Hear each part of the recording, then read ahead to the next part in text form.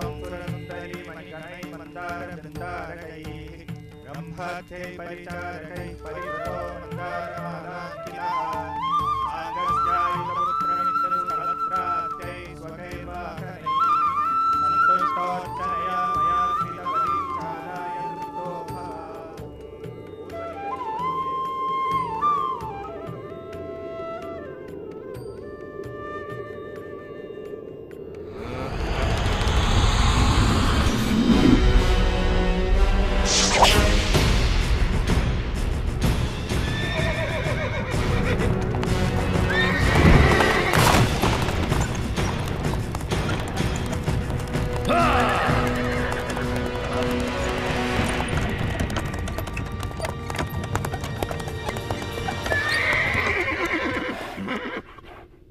पर मनुष्य आपको प्रसन्न करने के लिए यज्ञ कर रहे हैं देवराज इंद्र ये ऋणी लोग आपका आभार प्रकट करने के लिए सब तरफ़ एकत्रित हुए हैं।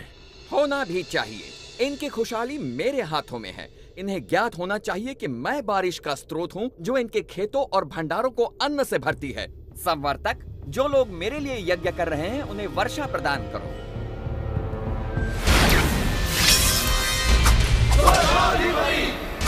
पृथ्वी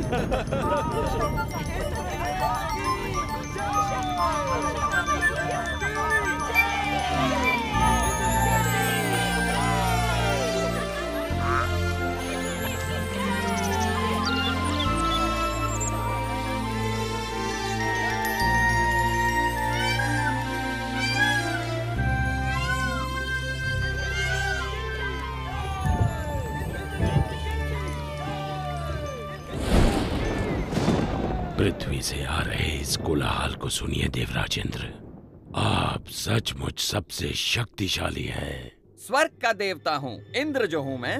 इंद्र हम्म? तुम अपनी मर्यादा भूल रहे हो। तुम केवल अपने कर्तव्य का पालन कर रहे हो। भगवान विष्णु का आदेश पूरा कर रहे हो। मैं जो चाहूँ करूँगा मैं किसी का आदेश नहीं मानता। इंद्र मैं तुम्हारा शिक्षक हूँ। तुम्हें अपने यश और कीर्ति का अभिमान हो गया है। मैं तुम्हें सलाह देता हूँ कि सुधर जाओ। अन्यथा तुम्हारा ये घमंड तुम्हें नष्ट कर देगा।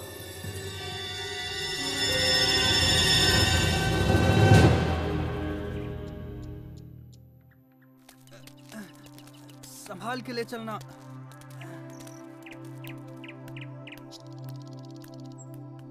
बाबा आप इंद्र के लिए यज्ञ क्यों कर रहे हैं? हमें इंद्र को प्रसन्न करने के लिए हर साल ये यज्ञ करना ही पड़ता है ताकि वो हमें बारिश दें।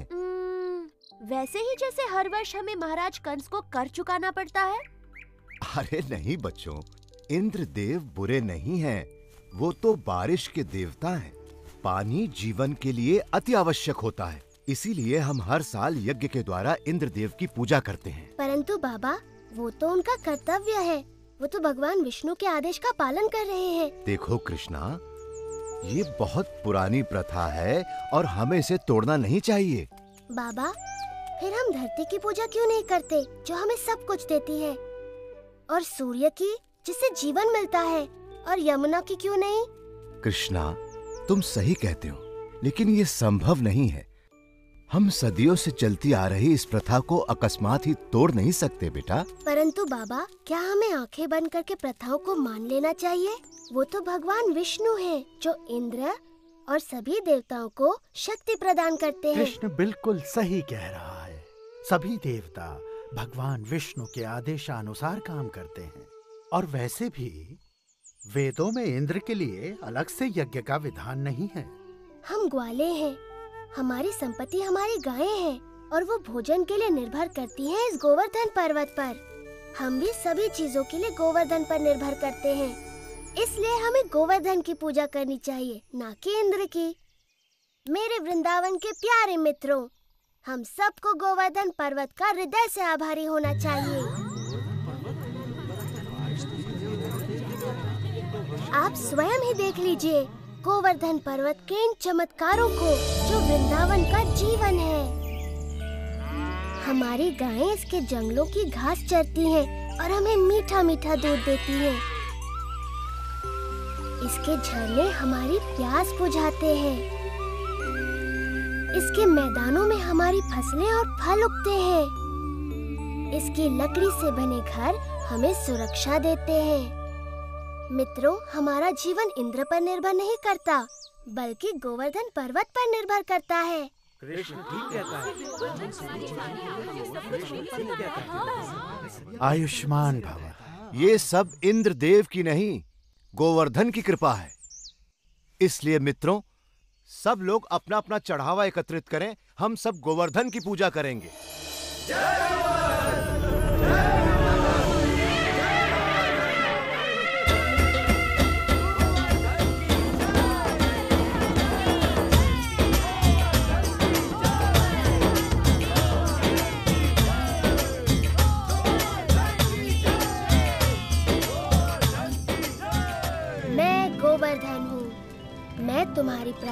से बहुत प्रसन्न हूँ।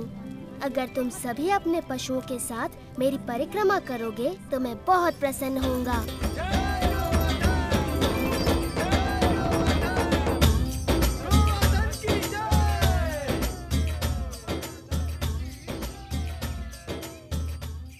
देखो कितनी बड़ी पूजा हो रही है।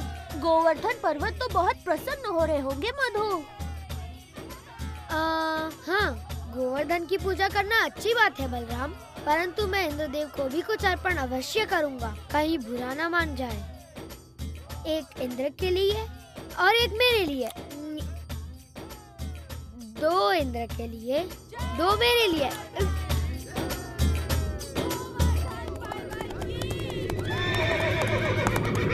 देखिए तो वृंदावन वासी गोवर्धन पर्वत की पूजा कर रहे हैं। ये तो बड़े अचरज की बात है। उनकी ये हिम्मत, मुझे तुरंत इंद्र को सूचित करना होगा।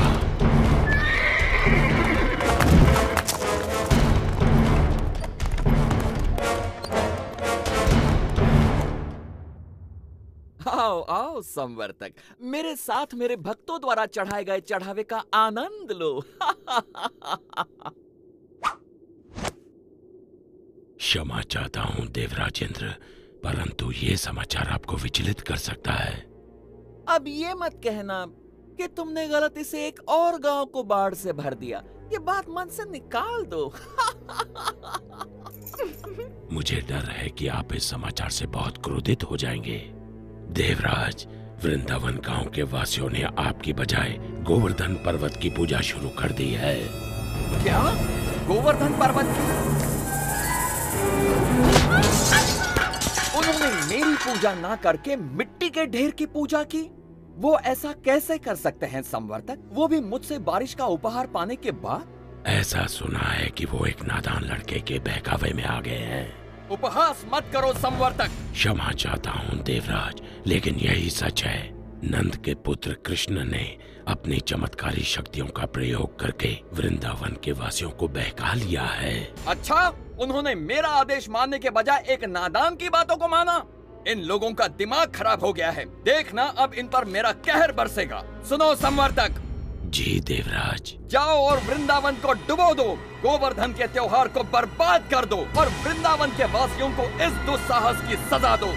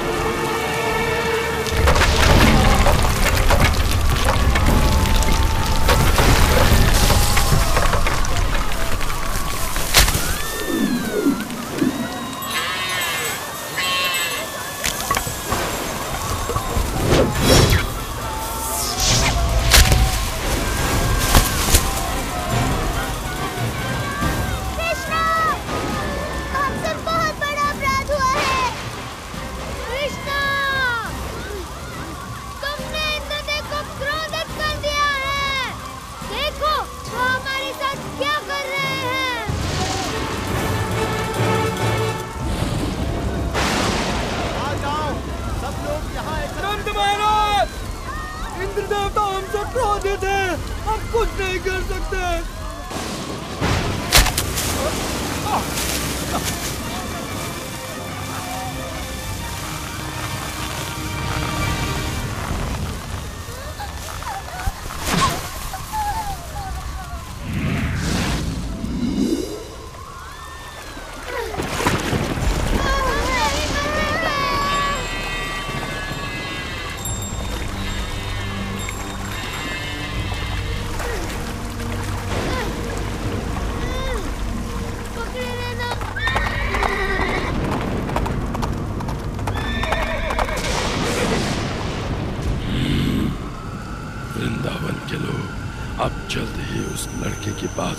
पर पछताएँगे।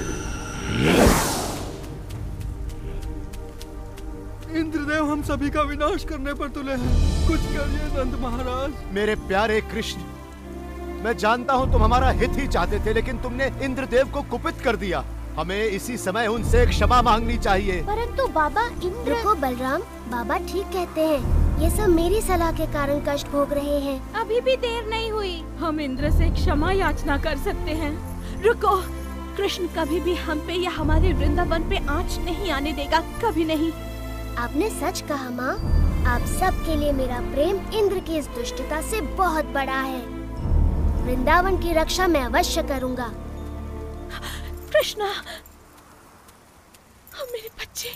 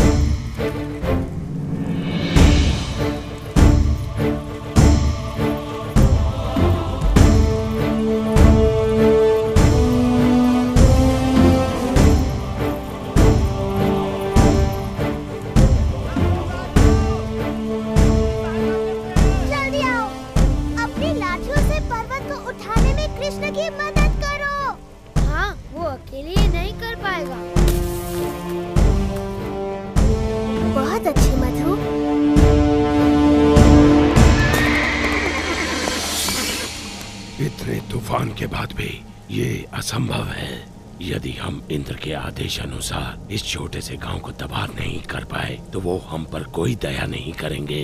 आगे बढ़ो मेरे योद्धाओं! ये तूफ़ान तब तक थमना नहीं चाहिए जब तक वृंदावन पूरी तरह पानी में डूब न जाए।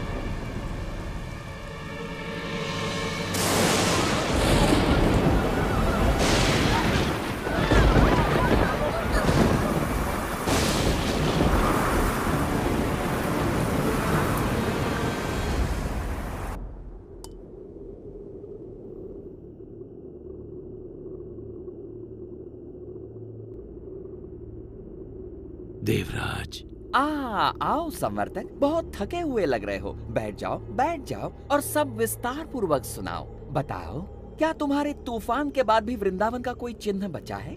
देवराज, आपके योद्धाओं ने पिछले छह दिन और छह रातों से तूफ़ान मचा रखा है, जिसमें आग की तरह बिजली कड़क रही है और घनघोर वर्षा हो रही है। मनुष्य ने इससे पहले ऐसा दृश्य कभी नहीं देखा। अच्छा है बहुत अच्छा है। अब तक तो वृंदावन पूरी तरह डूब चुका होगा। हम्म?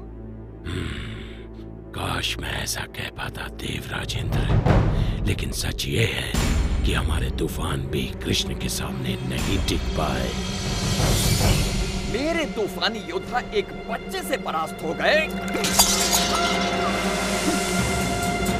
उसने गोवर्धन पर्वत को अपने सिर पर उठा रखा है और वो वृंदावन वासियों और उनके पशुओं की रक्षा कर रहा है। हम परास्त हो गए। लगता है तुम्हारी आँखों को धोखा हुआ है, संवर्तक। छह दिनों से कड़क रही बिजली ने तुम्हें अंधा कर दिया है। मेरे वाहन ऐरावत को बुलाया जाए। मैं स्वयं वृंदावन जाकर इस चमत्कार को देखना चाहूँगा।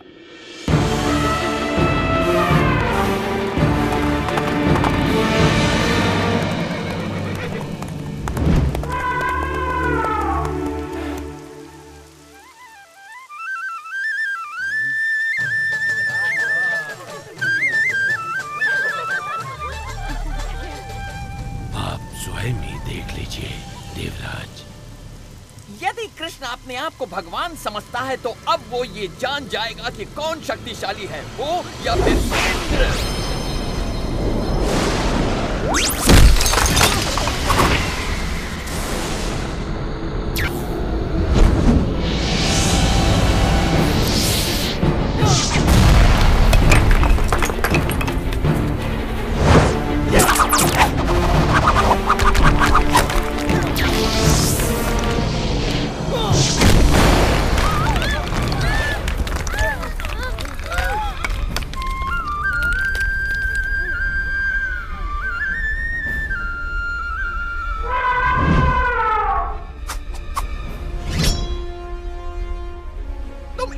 क्रोध से बच नहीं सकते कृष्ण की बात मानने का दंड भुगतना होगा।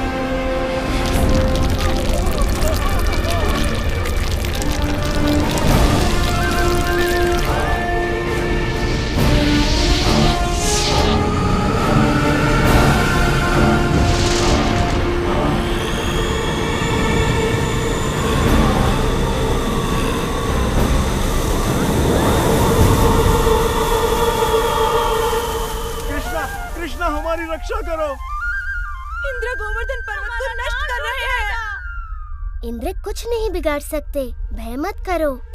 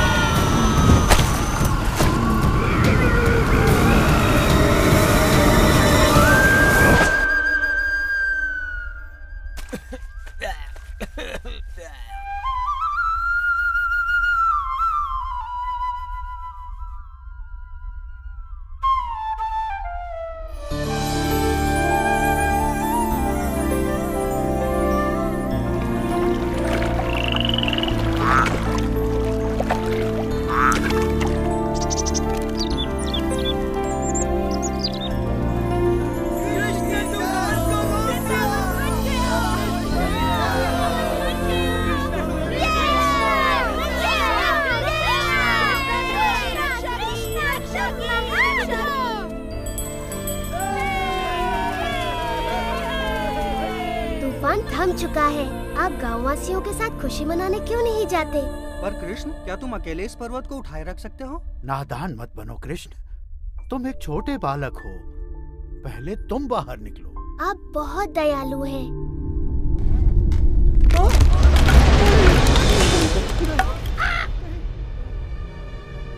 आप सचमुच चाहते हैं मैं पहले चला जाऊँ? नहीं रुको! मुझे छोड़कर मत जाओ!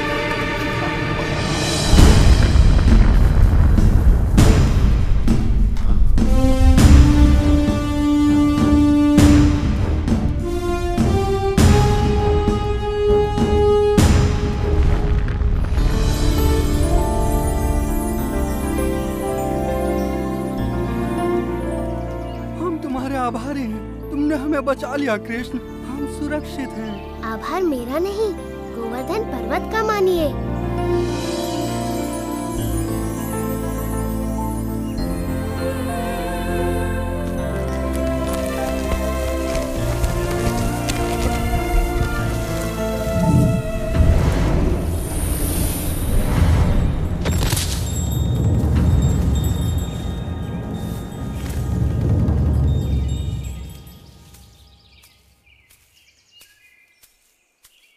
देवराज इंद्र मैंने देखा आप मुझसे कितना स्नेह करते हैं। अन्यथा मेरे प्रतिकार के बाद भी आप मुझसे मिलने यहाँ क्यों आते? कृष्ण, प्रतिकार तो मैंने किया है आपका। मैंने बहुत बड़ी मूर्खता की। भूल गया था कि मुझे शक्तियाँ आप ही से प्राप्त होती हैं। मैं सदैव आपका सेवक रहूँगा। मैं आपसे क्षमा माँगता हूँ। देवराज आपको अपनी शक्ति का बहुत अभिमान हो गया था और ऐसा मैंने इसलिए किया ताकि आपका अभिमान तोड़ सकूँ। जाइए मैं आपको क्षमा करता हूँ।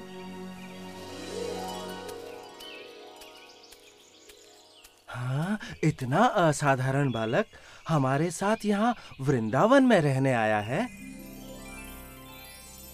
मैं तो बस इतना जानती हूँ कि ये मेरा प्यारा बच्चा है। मेरा दुलारा कृष्णा। कृष्णा की जय हो जय